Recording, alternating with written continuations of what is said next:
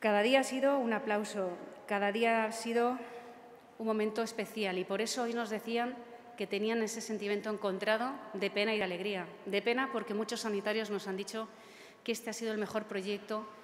al que se han enfrentado en toda su vida. Pero también es un motivo de alegría porque apagar temporalmente IFEMA significa que ya no hay contagios apenas. En estos días hablábamos con los gerentes de los hospitales y les decíamos si era necesario cerrarlo porque realmente nos daba pena y, nos decían que efectivamente no hay otra opción porque ya apenas hay estos contagios, aunque es cierto que es el momento de no relajarnos, que es el momento de ir preparándonos por si hubiera algún repunte y sobre todo es el momento de pedirle a las personas que se cuiden, que también sigan todas las instrucciones de autoprotección, porque es importante no volver atrás. No podemos perdonarnos un repunte por no haber hecho las cosas con lógica. Nuestros sanitarios no tienen que volver a pasar por esto siempre que sea evitable.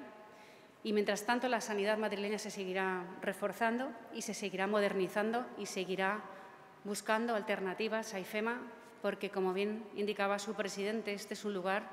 que genera empleo, 5.000 millones de euros el año pasado, es un motor económico de la Comunidad de Madrid e IFEMA tiene que seguir su vida, tiene que seguir siendo esta feria de muestras, tiene que seguir siendo pasarelas de moda, mientras la sanidad de Madrid